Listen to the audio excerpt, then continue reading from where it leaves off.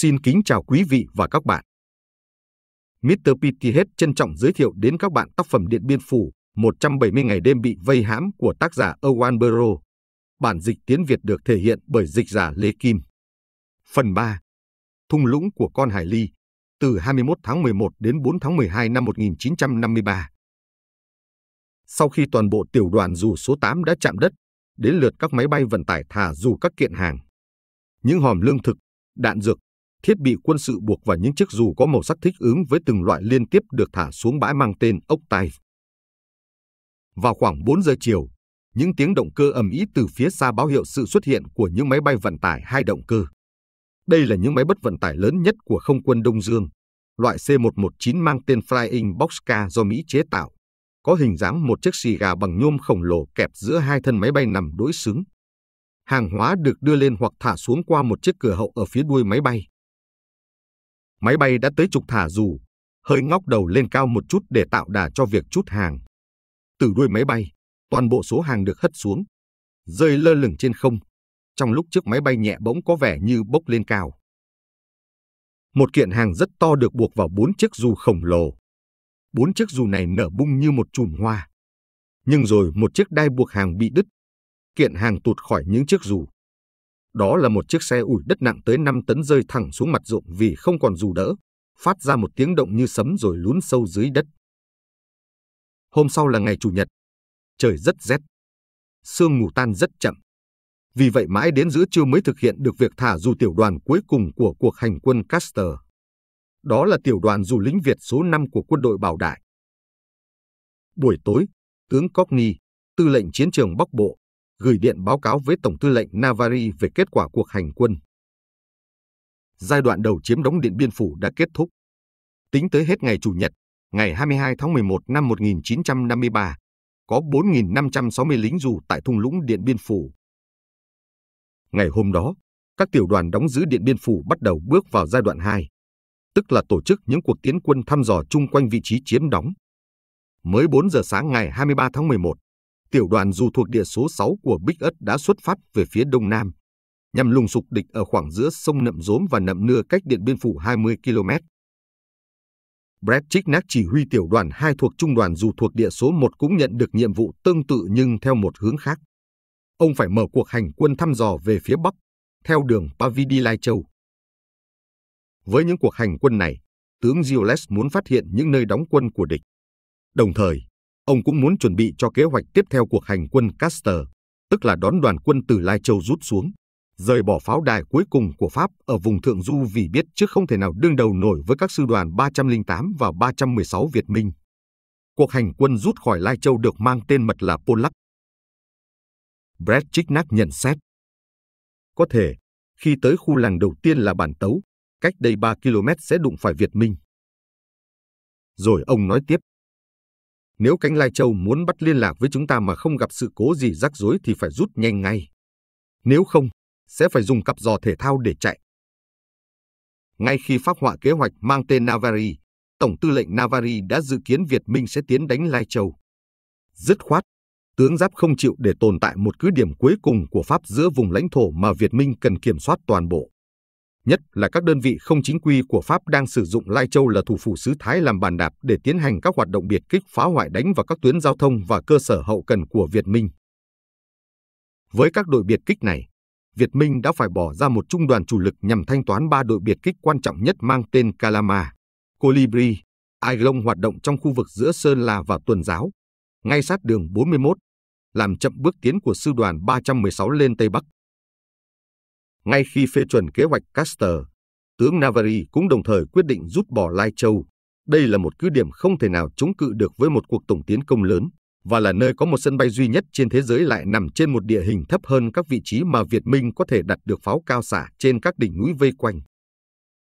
Điều rủi ro duy nhất là các sư đoàn Việt Minh có thể ngăn chặn cuộc rút quân từ Lai Châu về Điện Biên Phủ. Để hạn chế mối nguy hiểm này, Trung tá San Cát, chỉ huy binh đoàn tác chiến Tây Bắc đã nhận được chỉ thị phân chia số binh lính đóng ở Lai Châu làm ba bộ phận. Ngày 15 tháng 11 năm 1953, bộ phận thứ nhất được lệnh cấp tốc hành quân theo đường Pavi từ Lai Châu về Điện Biên Phủ trước khi Việt Minh có thể chặn đánh bộ phận này do đại úy Bodier, một người Lai Pháp, con rể của Đèo Văn Long chỉ huy, đã hoàn thành việc rút lui một cách an toàn. Ngày 24 tháng 11, đội tiền trạm của đơn vị lính Thái ở Lai Châu đã tiến được vào thung lũng Điện Biên Phủ rước lá, cờ Pháp đi diễu qua những quả đồi Alpha ở bản kéo lúc đó đang do tiểu đoàn dù Lê Dương số 1 đóng giữ.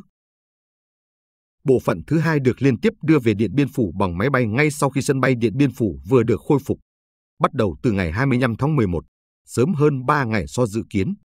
Chính những người lính dù và lính bộ binh Lê Dương đã vượt mức thời gian sửa chữa đường băng. Họ cũng được chiếc xe ui đất thứ hai giúp đỡ, chiếc này được thả dù an toàn, không gặp sự cố như chiếc thứ nhất. Giai đoạn 3 của cuộc hành quân Pol Lắc gặp nhiều nguy hiểm nhất. Đơn vị hậu vệ ở Lai Châu đã cố bám giữ đến ngày cuối cùng để làm nghi binh, đánh lừa Việt Minh, cho rằng ở Lai Châu vẫn còn quân lính sẵn sàng chiến đấu. Sau đó, 2.400 quân còn lại mới phân chia thành từng đơn vị nhỏ đi theo những đường mòn mà họ biết rõ hơn địch, tìm đường về Điện Biên Phủ và cũng là hy vọng duy nhất để sống sót. Để cứu ứng cho đơn vị này, các tiểu đoàn dù của tướng Gilles đã phải tiến lên phía Bắc, càng xa càng tốt, cho tới khi có thể chia tay ra đón họ. Nhưng Việt Minh đã hành động rất nhanh. Ngay trong ngày hôm sau, khi những binh lính cuối cùng vừa rút khỏi Lai Châu, Việt Minh đã có mặt trong khi Pháp nghĩ rằng phải nhiều ngày sau họ mới tới nơi. Từ 25 tháng 11, lính dù ở Điện Biên Phủ cảm thấy Việt Minh đã tới sát thung lũng. Trung đoàn 1448 và sư đoàn 316 Việt Minh chiến lĩnh các trận địa ngay sát dãy núi bao quanh Điện Biên Phủ. Các đại đội trinh sát của Pháp khi ra khỏi vị trí vài km đã gặp những đơn vị thiện chiến, đông hơn, sẵn sàng từ trong rừng xung ra đón đánh. Trong những ngày đầu tháng 12 những cuộc giao chiến liên tiếp xảy ra nhiều tới mức không thể đếm xuể. Ngày 4 tháng 12, tiểu đoàn dù thuộc địa số 1 khi sục sạo phía đông bắc Điện Biên Phủ, gần bản Him Lam đã bị thương vong 10 người. Tuy nhiên, đã tới thời điểm thay quân. Nhiệm vụ của lính dù đã sắp hoàn tất. Đó là nhiệm vụ chiếm lĩnh sân bay, làng bản, thung lũng, tạo điều kiện cho căn cứ Điện Biên Phủ hoạt động. Nhiệm vụ này đã hoàn thành. Những nhiệm vụ khác đang chờ đợi họ ở những nơi khác. Họ đang lần lượt được thay thế bằng các tiểu đoàn đổ bộ đường không, có trọng pháo do máy bay chở từ đồng bằng tới. Ngày 4 tháng 12, Bích Gất cùng với tiểu đoàn dù thuộc địa số 6 trở về Hà Nội.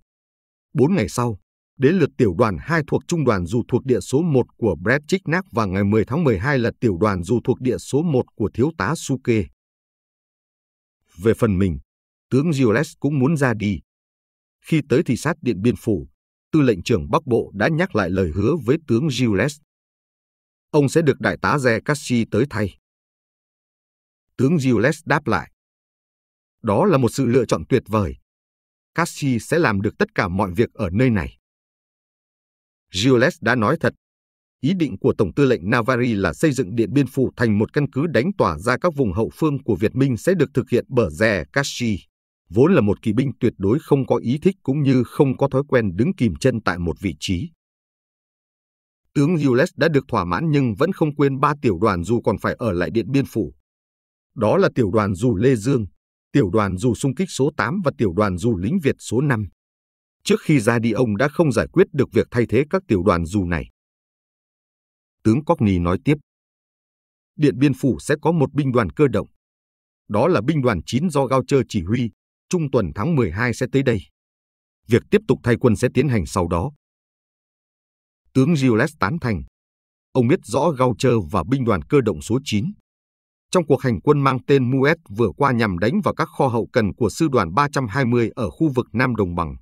Tướng Gilles đã đánh giá cao tính cơ động và vững vàng của binh đoàn này, gồm 2 phần 3 là lính Lê Dương, 1 phần 3 là lính Algeria. Lính Lê Dương thuộc các tiểu đoàn 1 và 3 của bán lữ đoàn Lê Dương số 13 đã từng lập chiến công vang dội trong các chiến dịch Navic và Bir Hakem hồi chiến tranh thế giới thứ hai. Lính thuộc địa thuộc tiểu đoàn 3, trung đoàn Algeria, phần lớn là người quê ở Constantine, to lớn, dẻo dai, dũng cảm. Tiểu đoàn này tới Đông Dương từ mấy năm trước. Binh đoàn cơ động số 9 còn có một lực lượng pháo thuộc địa. Đó là tiểu đoàn 3 thuộc trung đoàn pháo binh thuộc địa số 10 vừa mới tới Nam Kỳ. Đó cũng là một đơn vị nổi tiếng gồm nhiều pháo thủ châu Phi khỏe mạnh và trung thành. Tướng Gilles trả lời. Rất tốt. Tôi sẽ có thể chấn an các tiểu đoàn trưởng của tôi. Tướng Cogni quay lại nói. Thế nhưng, tôi đang dự tính để lại đây hai tiểu đoàn dù thuộc binh đoàn đổ bộ đường không số 2 làm lực lượng cơ động ứng chiến. Ông nghĩ thế nào? Tướng Gilles nhăn mặt. Ông không muốn phổ biến những tin xấu. Nhưng ông vẫn trả lời. Tôi sẽ để lại đây tiểu đoàn dù Lê Dương và tiểu đoàn dù xung kích số 8. Sau đó, tướng Gilles đi dự cuộc họp với các chỉ huy tiểu đoàn và đại đội. Thưa các bạn, tôi xin nâng cốc chúc mừng thắng lợi của các bạn. Tôi có nhiệm vụ chuyển tới các bạn lời khen của Tổng tư lệnh vì đã hoàn thành nhiệm vụ. Riêng đối với tôi, đây là lần cuối cùng tôi được vinh dự làm nhiệm vụ chỉ huy trước khi trở về Pháp. Chiếc lều vải bạt đủ rộng để chứa tất cả các đại úy, trung úy chỉ huy các đại đội dù. Tướng Gilles đã cho triệu tập tất cả chỉ huy các đại đội để nói lời từ biệt. Cuối cùng, sau một lúc ngần ngừ, tướng Gilles quyết định nói hết. Bằng vài lời ấp úng, ông giải thích lý do tại sao phải để lại hai tiểu đoàn dù. Các bạn hiểu cho, phải để cho những đơn vị tới thay quân có thời gian cần thiết thích nghi với trận địa. Ma ơn, có biệt hiệu là lu lần tiến lên hàng đầu trước sự ngạc nhiên của mọi người. Dưới mớ tóc sẫm, gương mặt ông đỏ ứng, biểu lộ rõ vẻ xúc động. Ma ơn vốn bén lẽn, nhưng điều đó không ngăn cản ông nói hết những điều mình nghĩ. Thưa tướng quân, tôi nghĩ tôi có thể tóm tắt được ý nghĩ của các bạn tôi. Đó là, tướng quân không cần phải ra thêm một mệnh lệnh đã ban hành. Chúng tôi chỉ biết sẽ phục tùng. Cách tốt nhất là cho chúng tôi biết ai ở lại, và người đó sẽ ở lại đây. Cuộc hành quân Poluk, Sơ, từ 8 đến 15 tháng 12 năm 1953. Những buổi sáng sớm, trời rất lạnh. Từ lúc dạng đông sương mù dày đặc đọng trên dãy núi, bao phủ thung lũng dưới lớp sương mù ẩm ướt như đáy mồ. Điều đó vẫn không cản trở việc xây dựng căn cứ lục không quân. Mọi người đã trở dậy mặc áo len quần nịt như dân Eskimo Bắc Cực, hối hả lao động. Ở trên cao, máy bay đã tới thả các kiện hàng xuyên qua đám mây xuống đất. Để hướng dẫn máy bay thả dù, từ sớm tinh mơ các phi công mặt đất trong sở chỉ huy đã trèo lên nóc nhà phủ lá cọ dùng làm đài quan sát, cắm một chiếc xào tre trên ngọn có buộc một quả bóng màu đỏ. Quả bóng này làm mục tiêu báo hiệu cho các máy bay Dakota biết rõ đầu bãi thả dù.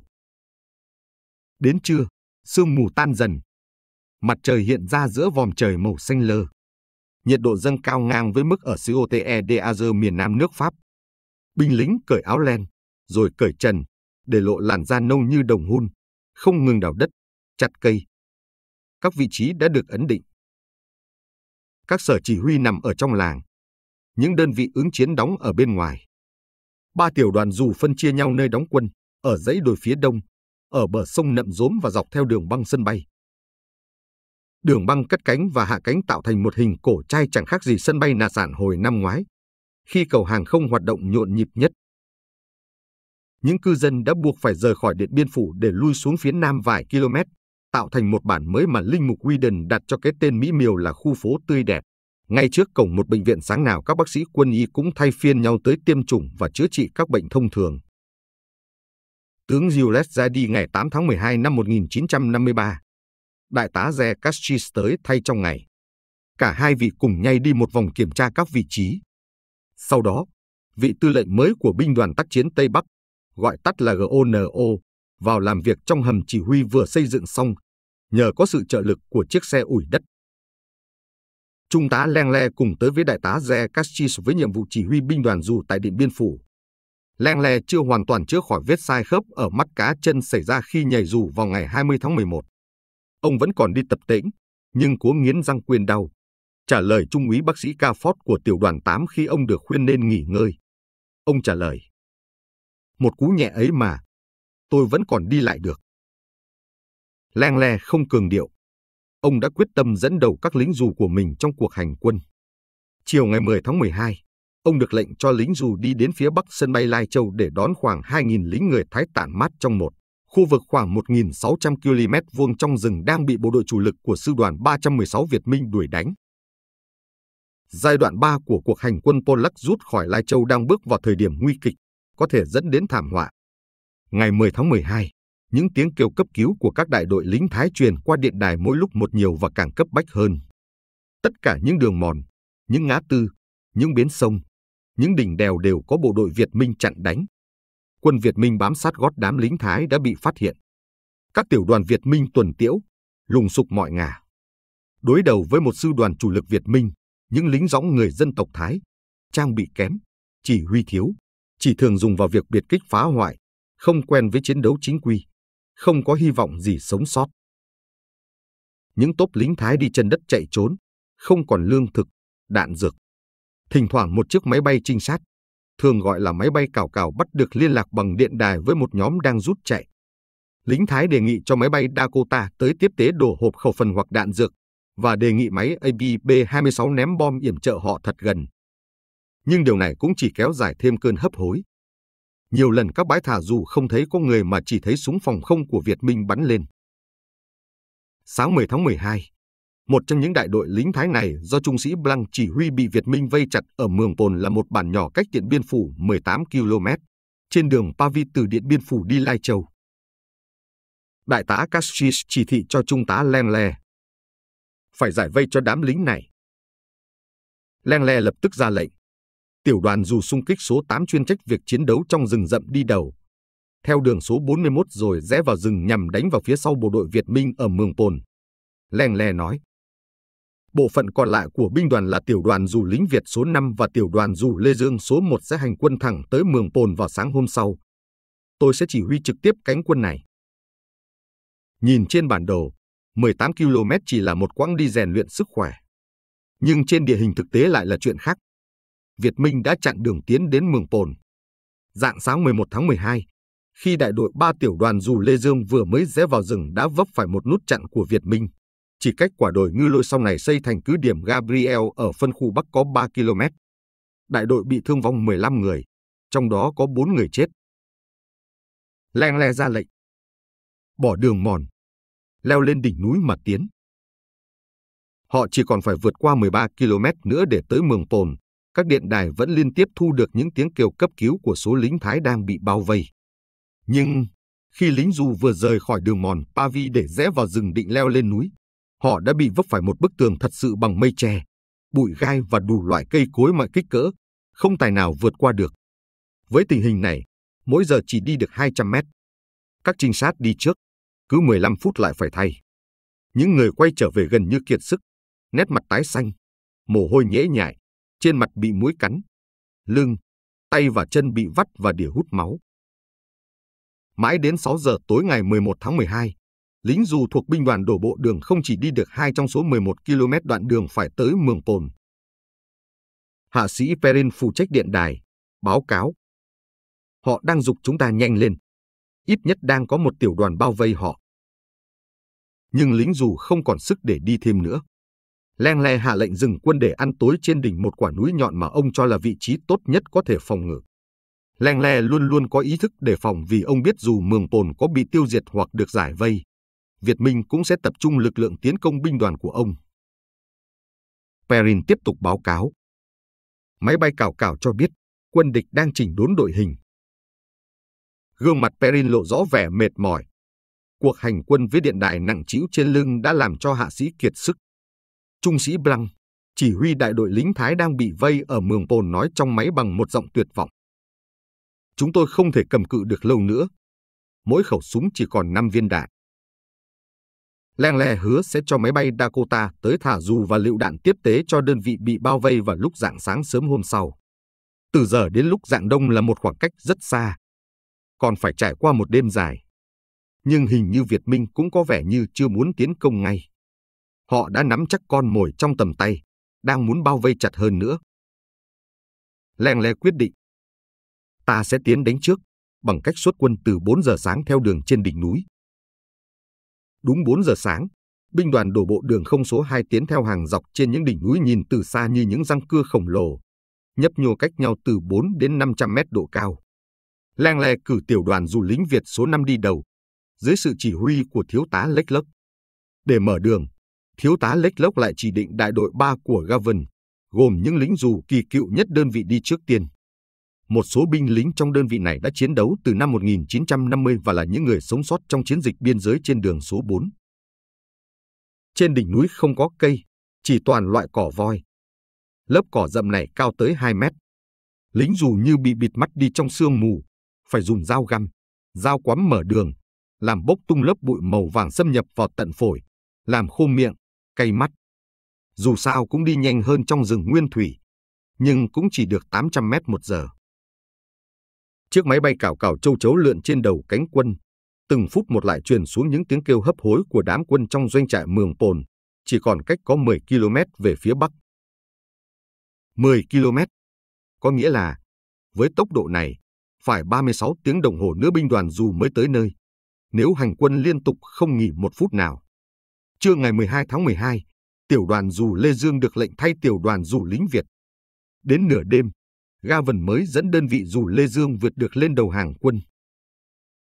Lính dù Lê Dương như đi trong mơ, chậm như sên.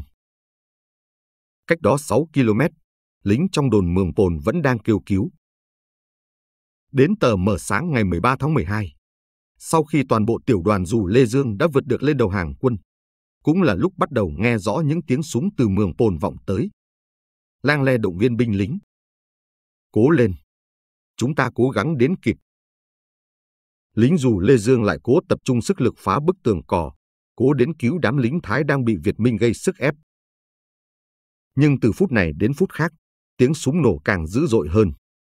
Đến 11 giờ sáng thì tiếng súng câm bặt, trong lúc đội tiền vệ của binh đoàn dù chỉ còn cách mường pồn khoảng 1 km. Lại tiếp tục hành quân một giờ nữa.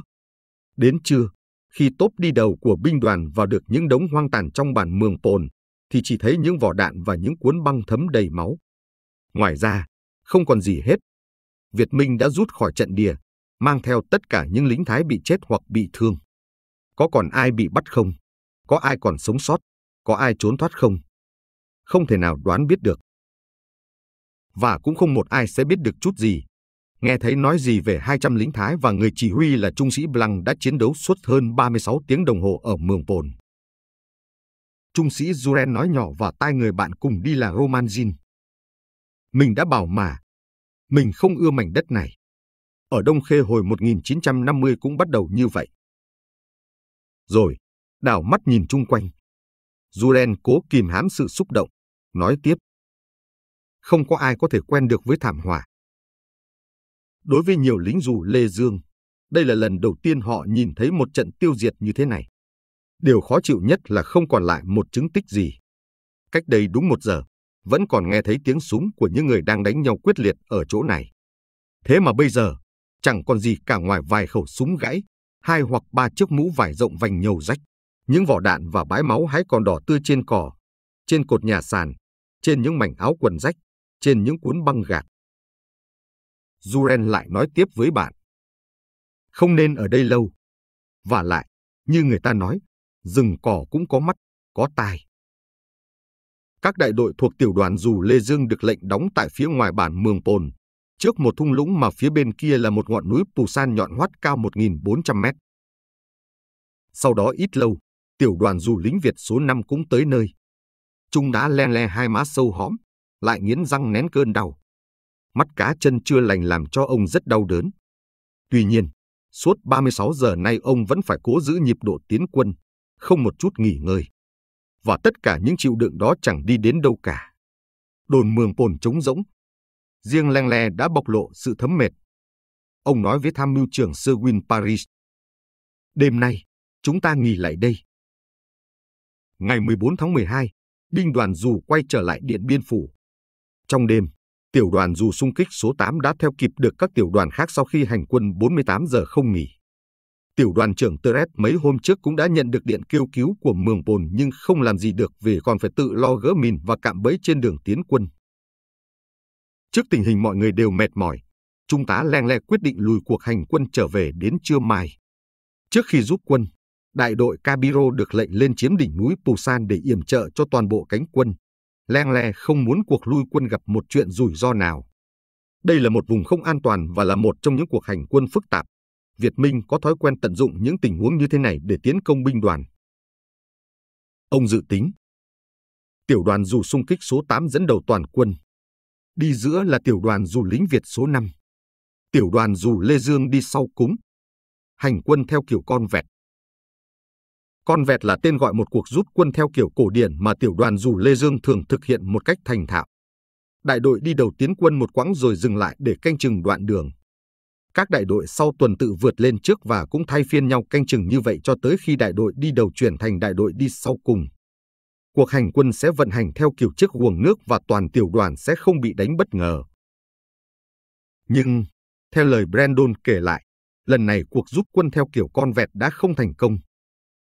Ngày hôm sau, ngay sau khi tiểu đoàn dù lính Việt số 5 vừa mới rời khỏi bản, đặt chân tới đường mòn Pavi, từ Lai Châu về Điện Biên Phủ, đã vấp ngay phải một trung đội địch trang bị trọng liên.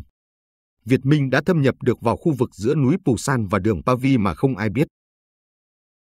Cabiro nói chen vào. Thật là khó hiểu. Sáng nay tôi đã dẫn quân lên đỉnh núi Pù San, nhìn thấy những dấu vết để lại của khoảng chứng một tiểu đoàn địch đã rút. Vậy mà sau đó điểm này lại trở thành một căn cứ để Việt Minh xuất phát tiến công. Brandon trả lời. Mưu kể của Việt Minh thật đơn giản. Địch cố tình làm cho Cabiro tưởng rằng chúng đã rút. Nhưng thật tình, chúng chỉ lánh sang bên kia sườn núi chờ đến khi tiểu đoàn dù lính bảo an người Việt hành quân đến chỗ này mới tiến công. Brandon mới chỉ nói tới đó, mọi người đã hiểu. Tiểu đoàn dù lính bảo an là đơn vị yếu nhất, dễ bị tiến công nhất. Nhưng, giữa lúc hai bên đang giao tranh thì máy bay quan sát cào cào đã kịp báo tin cho máy bay khu trục đến kịp thời. Nhưng cuộc xung đột giữa Việt Minh với lính dù cũng là người Việt đang trộn lẫn với nhau khiến cho các phi công không sao phân biệt được ranh giới. Thế là bom napalm ném xuống cả vào đầu lính dù bảo an của Bảo Đại. Mặc dù vậy, tiểu đoàn lính dù người Việt cũng đã chạy thoát được một phần, và đến lượt tiểu đoàn dù Lê Dương vừa tiến đến cũng bị đánh luôn. Ở giữa hai quả núi Pù San và Pù Tạo. Brandon nói tiếp. Tôi cứ tưởng không thoát được. Rừng cỏ rậm, hai mét cũng không nhìn rõ nhau. Việt Minh từ trên sườn núi tràn xuống khắp nơi. Không còn chỉ huy chiến đấu được nữa. Đành mặc cho từng người tự xoay sở. Cho tới giờ, mình vẫn chưa hiểu rõ đã làm thế nào để gặp lại được tiểu đoàn. Đại đội 2 thuộc tiểu đoàn dù Lê Dương là đơn vị thương vong nặng nhất trong cuộc hành quân, 11 người bị chết, khoảng 30 người bị thương và mất tích. Nhưng nếu so sánh với cánh quân lính Thái từ Lai Châu rút về mà lính dù Lê Dương có nhiệm vụ đi đón thì thiệt hại của đơn vị dù Lê Dương vẫn còn nhẹ. Khi rời khỏi Lai Châu ngày 8 tháng 12, toàn bộ các đại đội lính Thái có 2.101 người trong đó có 3 sĩ quan, 34 hạ sĩ quan người Pháp. Khi những binh lính sống sót cuối cùng đến được Điện Biên Phủ ngày 20 tháng 12, chỉ còn lại có một sĩ quan là Trung úy Upat, 9 hạ sĩ quan và 175 lính Thái. Cuộc hành quân Polac đã kết thúc.